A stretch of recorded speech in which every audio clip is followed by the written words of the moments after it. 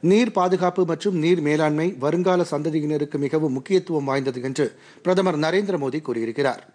இன்று உலக தண்ணீர் தினத்தை முன்னிட்டு மழை நீரை சேகரிப்போம் என்ற நிகழ்ச்சியை காணொலி மூலம் தொடங்கி வைத்து அவர் உரையாற்றினார். ஜல்சக்தி இயக்கம் குறித்து விழிப்புணர்வு அதிகரித்து வருவதாக தெரிவித்த அவர் கிராம மக்கள் மழை நீரை சேமிக்க முன்வந்திருப்பது மகிழ்ச்சி அளிப்பதாக கூறினார்.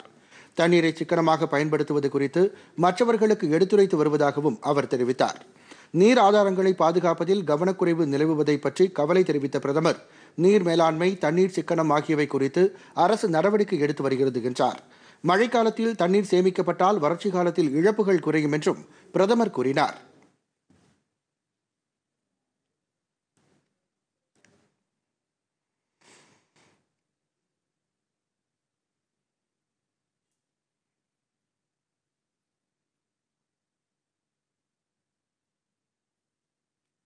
और इस आंदोलन को चलाने का सबसे बड़ा जिम्मा जिसका है, ऐसे पंच और सरपंचगण, दूसरे सभी जनप्रतिनिधिगण, मेरे प्यारे भाई और बहनों,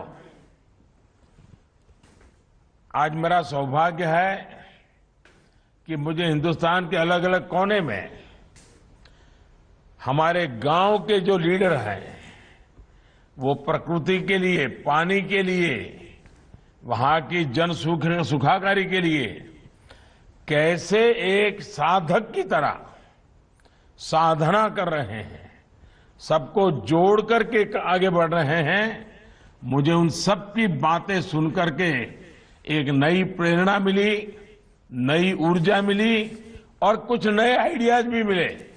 मुझे विश्वास है कि हमारे इन प्रतिनिधियों से आज जो बातें हुई हैं, जिन जिन लोगों ने सुनी होगी, हर किसी को कुछ न कुछ सीखने को मिला होगा।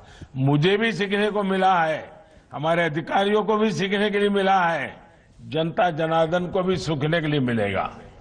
मुझे खुशी है कि जल शक्ति के प्रति जागरूकता बढ़ रही है, प्रयास भी बढ़ रहे हैं। आज International Water day Ken Betwa நதிநீர் இணைப்பு திட்டம் தொடர்பான ஒப்பந்த ஆவணமும் நிகழ்ச்சியில் கையெழுத்திடப்பட்டது. நிகழ்ச்சியில் பேசிய பிரதமர் இந்த நதிநீர் இணைப்பு திட்டத்திற்கு மத்திய பிரதேசம் உத்தரப்பிரதேச மாநிலங்களின் முதலமைச்சர்கள் மேற்கொண்ட பணியை பாராட்டினார். தண்ணீரில் ஆர்சனிக் மற்றும் இதர ரசாயன நச்சுக்கள் கலந்திருப்பது பெரிய பிரச்சினை என்பதால் தண்ணீர் பரிசோதனைகளை அதிகப்படுத்த வேண்டியது அவசியமாகிறது என்றும் பிரதமர் நரேந்திர மோடி கூறினார்.